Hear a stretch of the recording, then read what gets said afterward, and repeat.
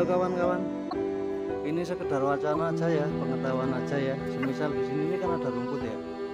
Ini rumput di makam ya, di makam leluhur ataupun almarhum, almarhumah orang tua.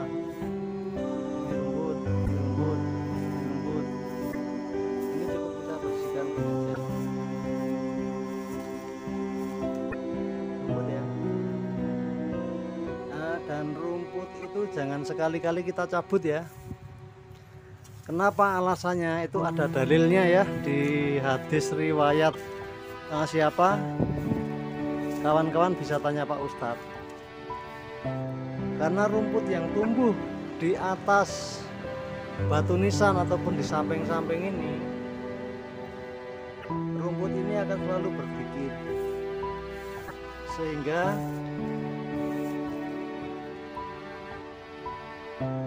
seseorang atau leluhur kita yang dimakamkan di sini akan diperingan ya siksa kuburnya. Nah, demikian informasi dari saya.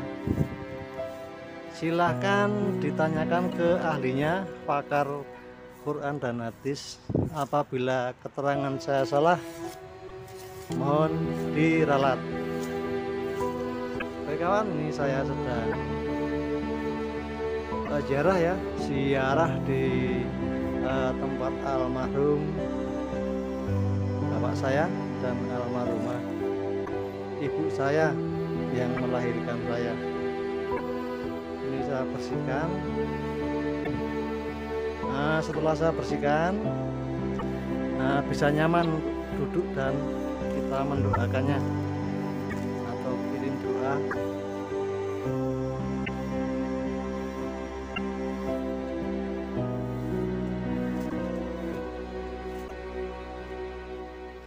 Oke kawan. Nanti kita lanjut lagi. Saya akan ngirim doa dulu